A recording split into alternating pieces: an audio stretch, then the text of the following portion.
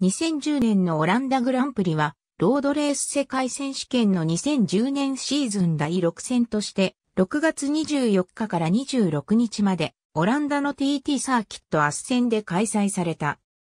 アゴスチーニと O23 ユーザー M1925 年に第1回大会が行われたダッチ TT は今回が80回目の開催となった。これを記念し、往年のチャンピオンライダーであるジャコモ・アゴスチーニが自身が最後にチャンピオンを獲得した1975年式ヤマハユーザー500と最新型のユーザー M1 を借りそれぞれ1周ずつパレードランを行った。125cc クラス決勝ではポールポジションからスタートしたマルク・マルケスと3番グリッドのニコラス・テロルが序盤から他を大きく離してマッチレースを展開した。しかしテロルは周回遅れのオーバーテイク時に接触し、ラインを外して大きくタイムを下ろす。その後はマルケスが独走し、3連勝を果たした。ポイントランキングでは、今回2位に入ったテロルがトップに返り咲き、ポル・エスパルガロは3ポイント差のランキング2位、ランキング3位のマルケスは11ポイント差に詰め寄った。Moto2クラス予選では、アンドレア・ヤンノーネがシーズン2度目のポールポジションを獲得した。続いて、ビモータのシャシーを駆る、タイ人ライダーのラタパー・ウィライローが、グランプリ自己最高となる2番グリッドを獲得した。アレックス・デボンは3番手のタイムを記録したが、その後転倒し右鎖骨を骨折、決勝を欠場することとなった。シト・ポンスの息子のアクセル・ポンスも転倒で右手首を骨折、欠場となった。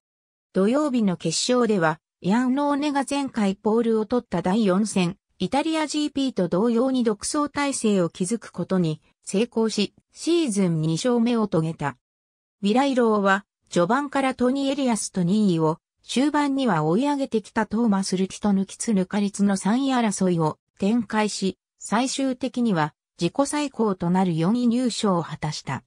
3番グリッドからスタートした富沢祥也は6位フィニッシュとなった。これで、ポイントランキングでは、トップのエリアスが2番手の富澤に24ポイントのマージンを築いた。そして3番手のルティが富澤から2ポイント差に迫ってきた。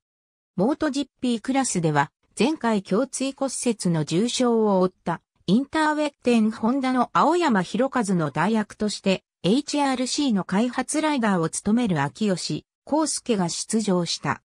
金曜日の予選前のフリー走行では、ホンダグレジーニのマルコ・メランドリが転倒時に左肩を脱臼し、以降のセッションを欠場することとなった。15台で争われた予選セッションでは、フィアットヤマハのホルヘロレンソが2戦連続でポールポジションを獲得、2番グリッドにも2戦連続で LCR ホンダのランディド・プニエが入った。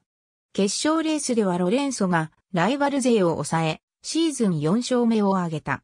2位には、レプソルホンダのダニ・ペドロサ、3位には、シーズン初表彰台となる、ドゥカティ・マルボロのケイシー・ストーナーが入った。秋吉はトップから、周回遅れの最下位15位で完走を果たした。ポイントランキングではロレンソが、さらにリードを広げ、2番手のペドロサに対し47ポイントの大差を築いた。ありがとうございます。